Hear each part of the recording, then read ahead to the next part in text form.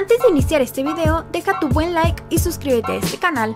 Si te quieres enterar cómo ver este partido totalmente en vivo, quédate hasta el final de este video. Y antes de comenzar no olvides dejar tu buen like y suscribirte a este canal.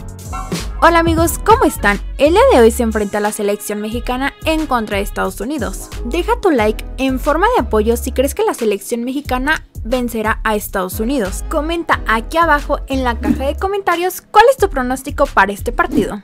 Amigos, suscríbanse a este canal y una vez que se hayan suscrito, activen la campanita de notificaciones, ya que traemos en directo el preolímpico de la CONCACAF. Y sin más que agregar, comencemos. La selección mexicana sub-23 disputará este miércoles 24 de marzo su último partido de la fase de grupos del preolímpico de CONCACAF ante Estados Unidos en el Estadio Jalisco.